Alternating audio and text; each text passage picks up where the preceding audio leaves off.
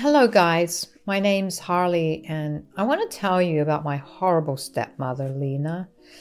I will be calling her Lena in my story because she never was my mother or even interested in being one. I mean, this is what she told me when my dad, Cameron, first introduced me to her. She didn't do it in front of him, though. She said, I don't want you getting any ideas about me being your mother. Harley, you are just my husband's daughter and nothing else. You are a teenager, so don't expect me to ever slave myself for you. Um, that's okay, Lena. I'm perfectly capable of doing things on my own.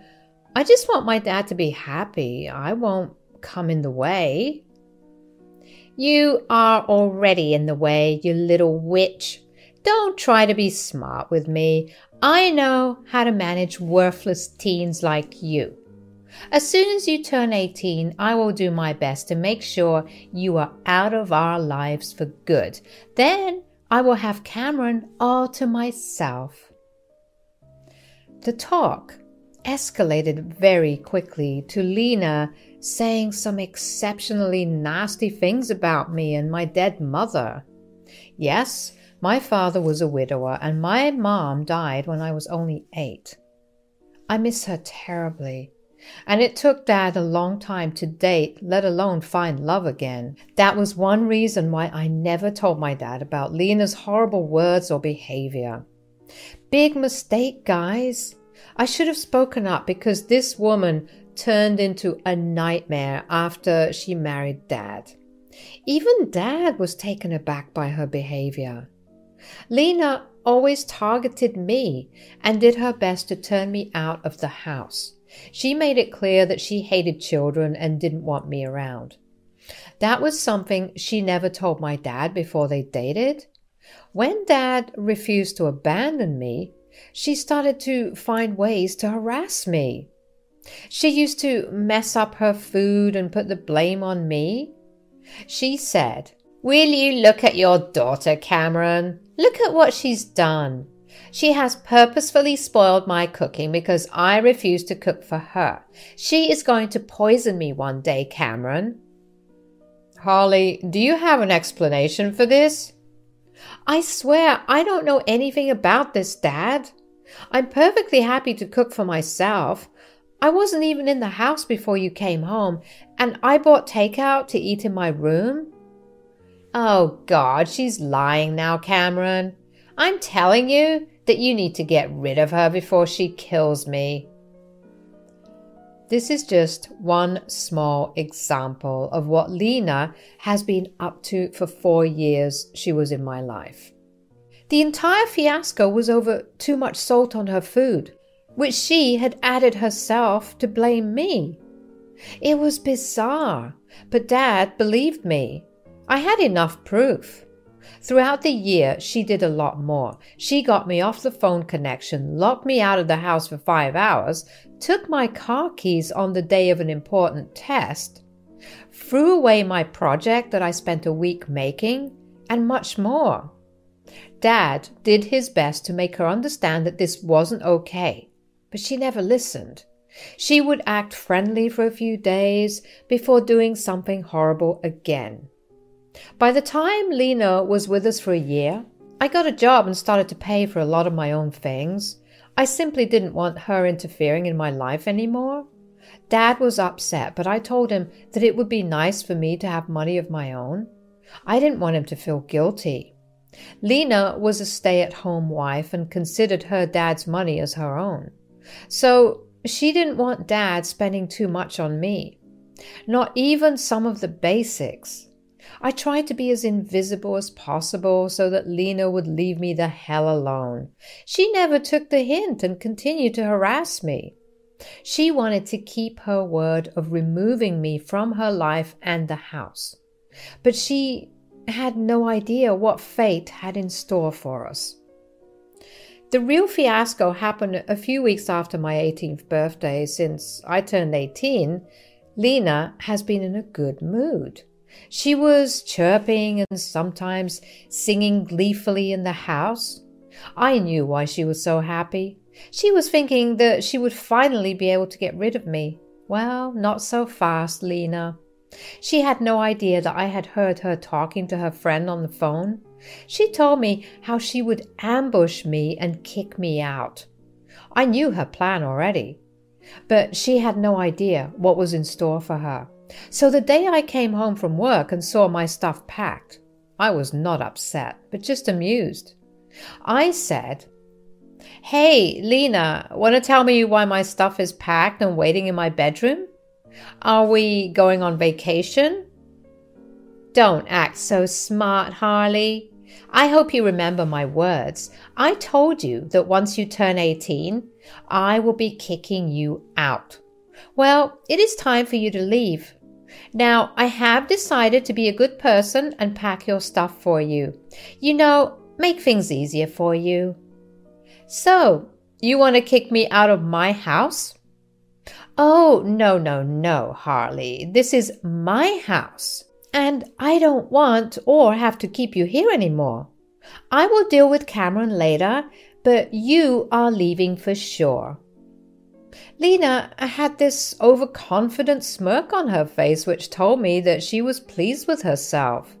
She had already started to make plans in her head of what she would do with my room, but like I said, not so fast, Lena. Karma is just about to come for you. I calmly took out some documents from my bag and handed them to her. When she looked at me confused, I just smirked and said, I think you need to take a look at these papers first, Lena.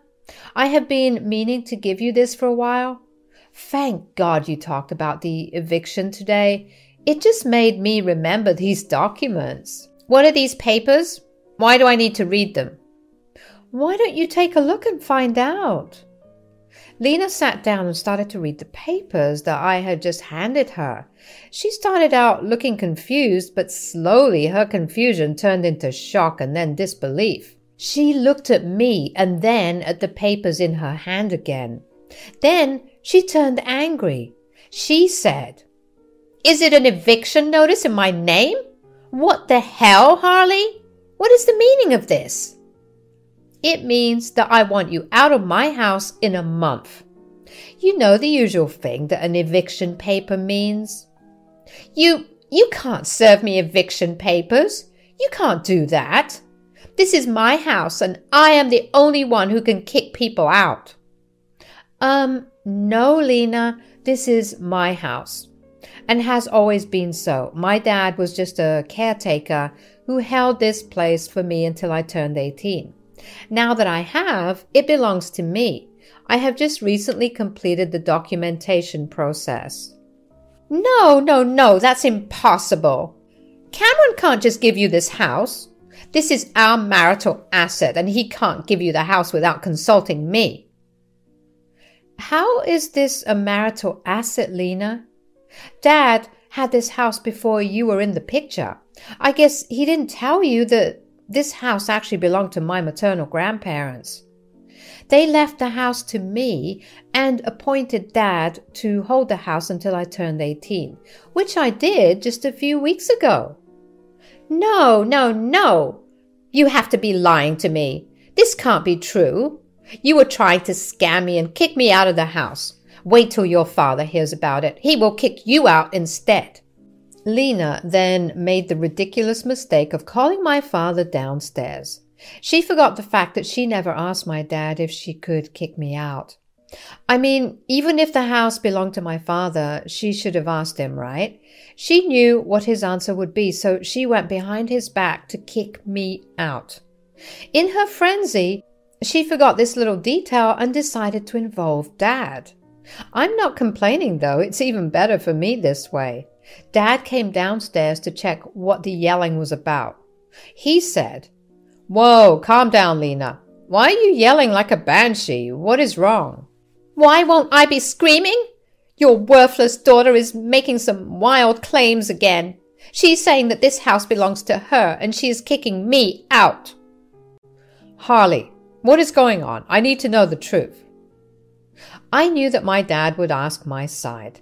He's a good father who knows that his wife can be a mean witch.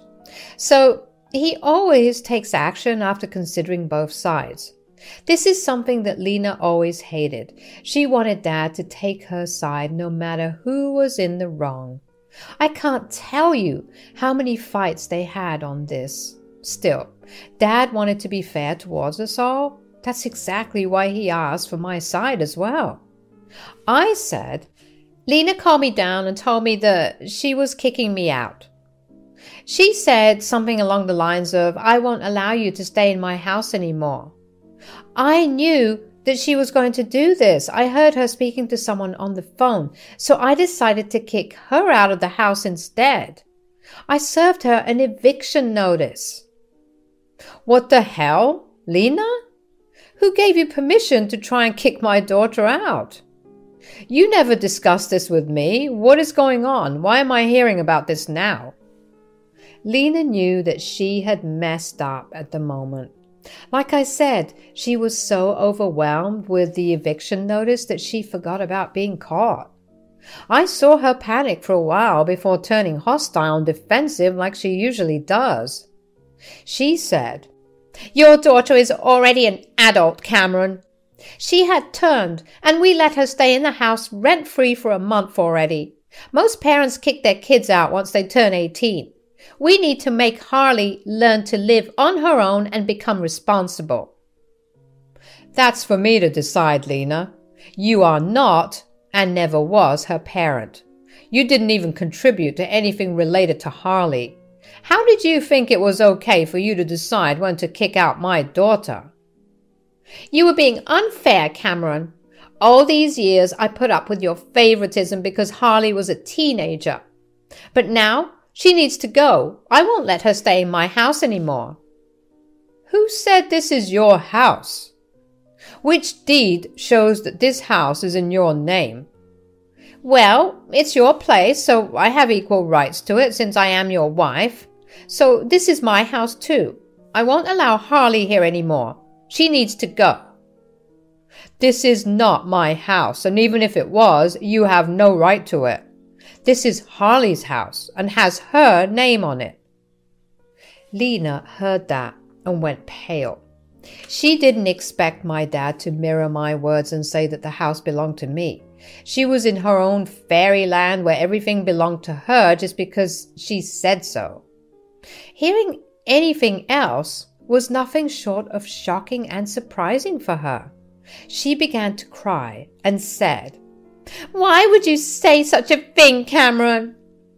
Because the house belongs to Harley. I'm just speaking the truth. What's wrong with that? You gave Harley your house without consulting me. How could you do this, Cameron? I'm your wife. You should have discussed this with me. I am not okay with this. You had no problem going behind my back and trying to kick my daughter out. Why can't I do the same, Lena? Talk about double standards. And there was nothing to discuss. This house was always supposed to be Harley's. I was the only trustee who took care of the house until she turned 18. The house got transferred to her name just recently. Lena now understood that we were telling the truth. Dad even offered to show her the papers in case she needed proof. She was in way too much shock to do or say anything coherent. She said, You deceived me, Cameron. I thought that the house was yours. You lied to me. This is not fair. I never lied to you, Lena. You never asked whose house this was. When we got married, we signed a prenup saying that our personal assets were just that personal. Oh my God, this can't be true. You should have told me, Cameron. Now Harley is throwing us out. Look at how ungrateful your daughter is, Cameron. I am not throwing my dad out, Lena. That reward is solely yours. You're the one who won't get to live in my house anymore. I would have considered letting you stay here. I told Dad as much. But after you tried to kick me out, I changed my mind. You are going to leave. If you kick me out, your dad will follow as well. We are a couple. He won't abandon his wife. Now, it was my father's turn to laugh out loud. He already made plans of his own that I knew about. But he was unsure whether to go ahead with it or not. I guess today's events made the decision easier for him. He was about to blow up his marriage, and Lena didn't see it coming at all. He said, Actually, no, I am not following you, Lena. I will stay here and take care of my daughter. I have been on the fence about divorce for a while now. What you tried to do today sealed the deal for me. I will be filing tomorrow. Be ready for it. Wait! What? Are you going to divorce me? You want to leave me over your shit daughter? You can't do that. Yes, I can, Lena. You think I was going to forgive you for tormenting my daughter for three years? Oh, hell no. All this while I thought that you might change. I have been nothing but patient with you. But now I know that you will continue to be a toxic witch. I don't want someone like this in my or my daughter's life. Lena took a step back as if she had been physically hurt. She never expected her divorce to come so soon. My dad is actually a pretty quiet man who doesn't do anything drastic. This was actually unlike him. He was mad and his facial features showed that. He didn't shout, but his tone gave away the fact that he was very angry. It made Lena even more anxious. She started to argue with my dad, and I chose to leave that space to retreat to my room. Dad and Lena fought for an hour straight. It was mostly Lena shouting and crying while my father explained his reasons to her calmly. After the verbal fight ended, Dad came to my room. He seemed a little upset and refused to meet my eye. He sat down and said, Harley, I know I need to apologize to you. I'm sorry, dear. I should have done a better job of protecting you against Lena. I thought that by being fair and avoiding fights, I would be able to make things work. I was stupid and I made things worse for you. You don't have to apologize, Dad. I know you loved Lena and she wasn't like this when she married you. People change and sometimes it takes time to come to terms with these changes. Wow, you have matured a lot, you know. I wish I could have done things differently.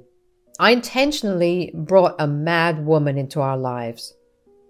Well, what is done is done. I forgive you, Dad. You really did try your best. I'm not complaining. Do you want to divorce Lena? I won't be mad if you don't. I would understand. Girl, I'm not living with that mad woman anymore. I'm done. Her true face shocked me way too much to act faster. I really don't want her in my life anymore. Although I must say that I saw this coming. Somewhere in my subconscious, I knew something was up with Lena. That's why I made the prenup in the first place. I was worried that she would jinx your future and make trouble with money. So I thought this would be the best way. See, you did think about me too. You deserve to be happy, Dad. That's all I want to say. If Lena doesn't mean anything to you anymore, it's best you separate. I spent a hell of a lot of time assuring my dad that he is not the horrible parent of the year. In fact, he went even close. He did a lot for me, and I knew that. I just needed to make him believe that too. I won't lie, guys, I was super happy that my dad was finally getting rid of that crazy woman, Lena. She is not the one for dad, and has no business staying married to him. Not after everything she did all these years. The talk with my dad went well, and he went to the guest room to sleep. That night, I was finally feeling peaceful, knowing that Lena would soon be out of our lives for good. I was able to teach her a nice lesson that I hoped she would remember for the rest of her life. The real surprise came the next morning when I found Lena trying a little too hard to appear loving and caring towards me. She was in the kitchen making me breakfast and acting like I was the best person in her life. Even Dad was giving her the side eye and looking at me with confusion on his face. When breakfast was over, I said, Thanks for breakfast, Lena, but you don't have to do this anymore. I'm capable of making my own, as I have done for the last six years. Things don't need to change out of the blue. What nonsense, Harley. I'm happy to do this for you. You having our meals together can bring us closer as a family. What is the need for that? We won't be a family anymore. It's just a matter of time now. You should have done this years ago. It's too late now. Oh, come on, Cameron. Don't be so hard on me. I'm trying. I can make this work. I will start being a better parent to Harley. We will be the best mother daughter duo ever. Right, Harley? I knew what Lena was trying to do. She had been backed into a corner and took the night to come up with a plan. I knew better than to trust her in my life. Looking at Dad, he had no intention of trusting her again either. He only looked at her a little amused. Since Lena was expectantly looking at me for a reply, I said, I don't think so, Lena. First of all, I'm 18 and I don't need a new parent. I pay my own bills and will be off to college anyway. Secondly, you are and never will be my mother. That word doesn't suit you at all. So, no, Harley, I am not interested in whatever scheme you have come up with. Harley, look, I'm sorry for being so mean to you in the past. You need to give people chances, dear. We can be a happy family if you agree to give me a chance, and it will help me strengthen my marriage too. Dad says that you have a marriage within a few months. I don't know what you're trying to strengthen. If it's a ploy to try and stay in this house, I'm sorry to say it won't work. I'm kicking you out anyway. And I am going to divorce you anyway. You have already done the damage, Lena. There is no point in trying to act all innocent and remorseful. I know you better than that. Lena saw that her new strategy was not working. I guess she didn't have anything else in her ammo. She couldn't threaten to ruin Dad financially because of a prenup she signed, so she had no other way than to beg and cry. And she did deliver. She started to cry hysterically and begged me not to kick her out. She also begged me to ask my dad to give her another chance. She then begged my dad to be a little more forgiving. Our entire day was filled with Lena trying to beg and plead with us for mercy. Since me and my dad were both off from work that day, we had to put up with this torture. My dad did leave for a while to contact a lawyer and file for divorce. Lena received the papers within a week. Dad's lawyer had them served. Lena upped her begging and crying after she was served the papers. Me and Dad graciously informed her that she needed to get a job if she wanted a place to live and a lawyer for her divorce. She was convinced that she would convince us to give her a chance. Well, that didn't happen. As the month was up, she was promptly kicked out.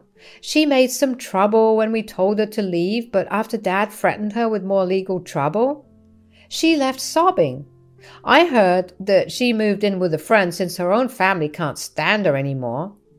As she left, she took the negativity with her, and the house finally felt like home.